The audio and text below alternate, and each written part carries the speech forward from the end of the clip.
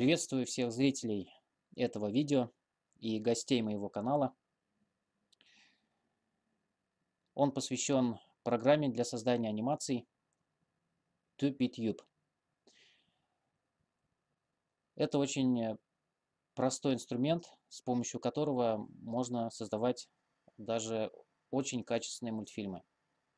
И именно простота в освоении меня привлекла больше всего в этой программе.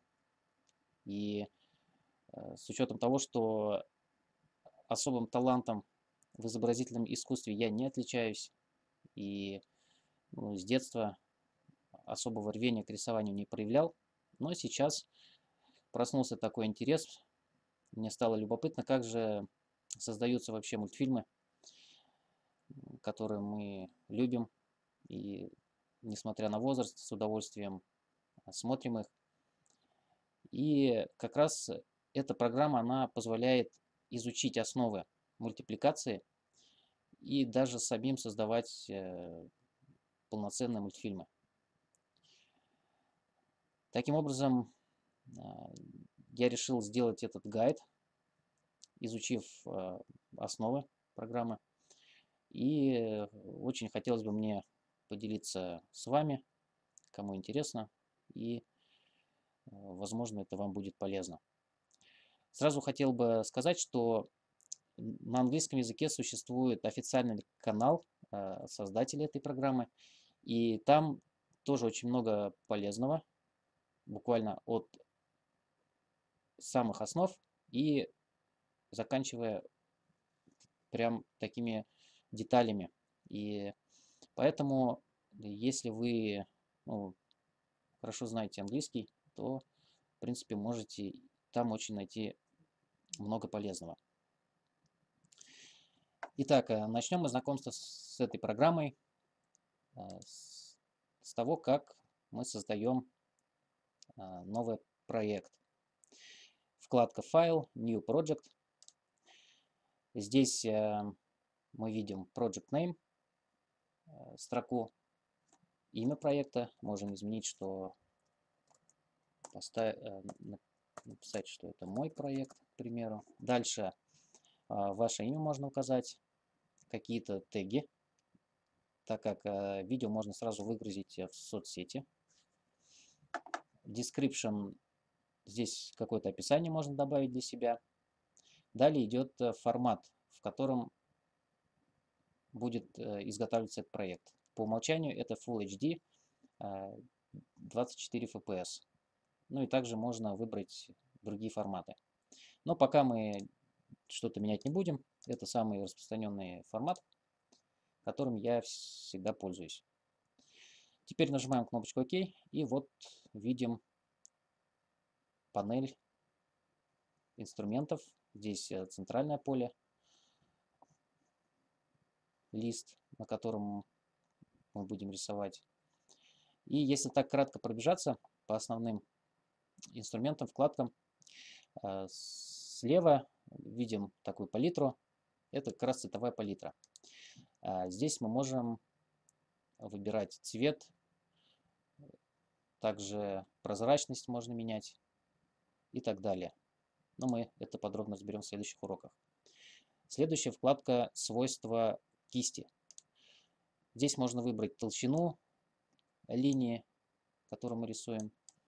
И также есть еще настройки, например, вид линии можно выбрать пунктирный. Тоже подробно еще мы это изучим. Следующая вкладка называется Library. Это библиотека. С помощью инструментов в этой вкладке мы можем добавлять какие-то готовые рисунки э, в нашей анимации. Это очень удобно, так как э, мы можем сделать какой-то качественный рисунок в графическом редакторе, неважно в каком. Это может быть Photoshop, GIMP, Inkscape, к примеру. То есть там больше возможностей, инструментов. И сделав там качественный рисунок, мы можем добавить его сюда. А, на наш рабочий стол. Тоже мы подробно остановимся, как это происходит. А, здесь далее мы видим панель инструментов, основных, которые используются для рисования. Первый инструмент это карандаш, pencil. Далее инструмент под названием Ink. А, я бы назвал его карандаш, который рисует ленты. Но мы тоже изучим, что это за ленты, посмотрим. Далее инструмент Polyline, который позволяет нам рисовать многоугольники какие-то, сложные фигуры. А, тоже подробнее остановимся.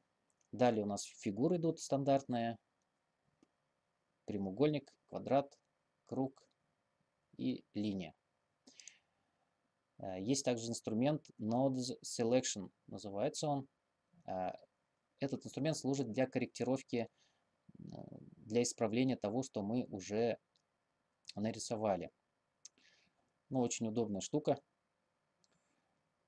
Тоже посмотрим, как она работает в деле. Fill Tool – это у нас инструмент заливки. Стандартный для многих графических редакторов. Twin. Twinning. А, это инструменты для создания движения. Мы тоже подробнее изучим, как это все применяется. А, следующий инструмент – это камера. А, очень полезная штука. С помощью нее мы можем создавать э, мультфильмы, используя камеру, э, настольную камеру. Может быть, помните э, советские кукольные мультфильмы, которые, ну, такого, такого кинематографического типа. Как раз таки, используя вот этот инструмент, мы с вами сможем э, создавать подобные мультфильмы и анимации. Тоже посмотрим, как это происходит позже. Итак, это основные инструменты, основные вкладки. Далее идет рабочее поле, соответственно, где происходит э, рисование, анимирование. И вот э, следующая такая панель, как раз таки здесь я бы его назвал тело анимации. Как видите, здесь э, может быть много сцен э, и слоев. Получается, сцена состоит из может состоять из нескольких слоев, а каждый слой состоит из кадров. И процессе мы с вами изучим, как это работает. Очень интересная архитектура и очень простая при этом. Вот таким образом в этом вводном уроке мы э, коротко познакомились с тем, что из себя представляет рабочий стол этой программы. И в следующих уроках уже будем подробнее изучать возможности. Всем спасибо за внимание, и я надеюсь, что это видео было для вас полезным. До встречи!